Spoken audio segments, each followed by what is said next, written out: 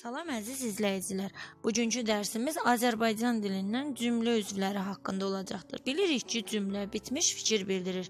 Cümlənin tərkibində olan və məna və qrammatik cəhətdən bağlı olan leksik mənaya malik sözlər və ya söz birləşmələri cümlə üzvləri adlanır. Cümlə üzvləri bunlardır: mübtəda, xəbər, tamamlıq, təyin, zərflik.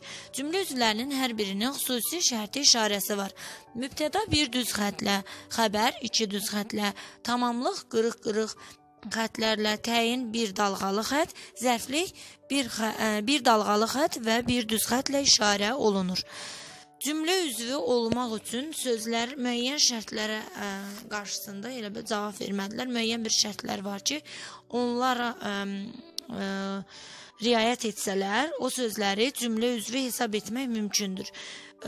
Birinci cümlə üzvü olmaq üçün şərt müstəqil leksik mənadır. Yəni əsas nitq hissəsi olmalıdır sözlər. Müstəqil leksik mənaya malik olmalıdır. Burada şagirdlər leksik mənanın nə demək olduğunu yadlarına salmalıdırlar. Leksik məna sözlərin lüğəvi mənalarıdır, ilkin yada düşən mənalarıdır.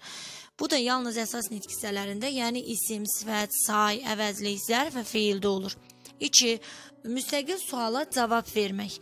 Bu da elə əsas nitq hissələrinə aiddir. 3. Məna və qrammatik cəhətdən bağlılıq olmalıdır sözlər arasında. Məsələn, çiçəklərin ətri gözəl olur. Bu cümlədə gözəl olur, necə olur? Cümləmizin xəbəridir. Nə? Çiçəklərin ətri mübtədadır. İkinci, iş insanın cövhəridir. Nədir? İnsanın cövhəridir. Nə? İş. Burada da bütün sözlər cümlə üzvü ola bilir. Üçüncü cümlədə isə ah bir görəydim o günü.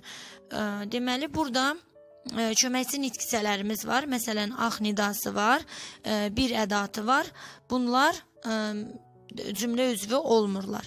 Əfsus ki, biz onu vaxtında tanıya bilmədik. Əfsus ki, modal sözdür və cümlə üzvü olmur. Deməli, köməkçi nitq hissələri cümlə üzvü olmur. Qoşma təbii ki, istisnalıq təşkil edir. Çünki qoşulduğu sözlə birlikdə suala cavab verib və cümlə üzvü olur. Məsələn, evə sarı gedirəm, haraya gedirəm cümlədə zərflik olur. Səndən özgə kim gələcək? Burada da ə, səndən özgə tamamlıq olacaq. Səhərə kimi oyaq qaldım, zaman zərfi olacaq. Bəzi sözlər var ki, suala cavab vermədən də cümlə üzvü ola bilirlər. Bu sözlər iki qrupa ayrılır. Birinci predikativlər, ikinci sual əvəzlikləri.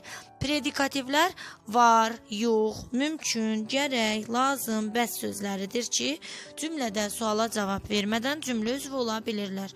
Məsələn, kitabım var. Var cümlənin xəbəridir. Nə var? Kitabım mübtədadır. Dərslərə ciddi hazırlaşmaq lazımdır. Lazımdır xəbərdir. Nə lazımdır? Dərslərə ciddi hazırlaşmaq isə cümlənin mübtədasıdır. Burada düzdür, predikativlər cümlədə xəbər rolundadır, ismi xəbərdir həm də. Bunu da vurğulamaq lazımdır. Amma bir şey var ki, bunlar predikativlər suala cavab vermədən cümlə üzvü olur. Sual əvəzlikləri də suala cavab vermədən cümlə üzvü olurlar. Məsələn, ə, hara gedirlər? Ə, cümləsində hara sual əvəzliyi var. Kimdir e, sual cümləsidir və e, kimdir sözü də elə xəbərdir və sual əvəzliyi ilə ifadə olunub. Bəs əsas nitq hissəsi olub cümlədə üzv olmamaq, yəni cümlə üzv olmamaq mümkündürmü? Xitabları buna misal çəkərik. Xitab olan sözlər cümlədə digər sözlərlə heç bir e, qrammatik əlaqəyə girmirlər və buna görə də onlar cümlə üzv olmurlar. Ay oğul, anana kömək et. Burada ay nidası da var. Ancaq nida olmasaydı belə oğul anana kömək et. Xitab müraciət olunanı bildirir. Müraciət olunan söz və ya söz birləşməsi də ola bilər. Və onlar cümlə üzvü olmurlar. Cümlə üzvləri quruluşsa iki yerə ayrılır. Sadə üzvlər, mürəkkəb üzvlər. Nitq hissələri ilə ifadə olunan cümlə üzvləri sadədir. Məsələn, uşaq çox kövrəlmişdi. Nə etmişdi? Kövrəlmişdi. Xəbərdir, sadə xəbərdir. Kim, uşaq, mübtədadır, sadə mübtədadır. Çünki təkcə bir nitq hissəsi ilə, bir sözlə ifadə olunub. Ə, nə qədər kövrəlmişdi? Çox kövrəlmişdi. Bu da zərflikdir. Hamı bizdədir. Yəni haradadır, bizdədir xəbər, kim, hamı, mübtəda, ikisi də sadə cümlə üzvüdür. Bəs mürəkkəb cümlə üzvü dedikdə nələr nəzərdə tutulur? Söz birləşmələri və ya mürəkkəb adlarla ifadə olunan cümlə üzvləri mürəkkəbdir. Nizami Gəncəvi farsça yazıb yaratmışdır. Burada Nizami Gəncəvi mürəkkəb addır. Söz birləşmələri və ya ə, dedik ki, mürəkkəb adlarla ifadə olunan cümlə üzvləri mürəkkəbdir. Bir də cümlənin təşkilindəki roluna görə cümlə üzvləri iki yerə bölünür. Baş üzvlər, bunlar mübtəda və xəbərdir. Cümlənin qrammatik əsası da adlanır. Və ikinci dərəcəli üzvlər tamamlıq, təyin və zərflik. Bugünkü dərsimiz bu qədər. Gələn dərslərdə ə, digər cümlə üzvlərinə yaxından tanış olacağıq.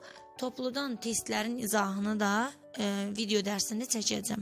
Kanalıma abunə olun, paylaşmağı unutmayın. Sağ olun, gələn dərslərə qədər.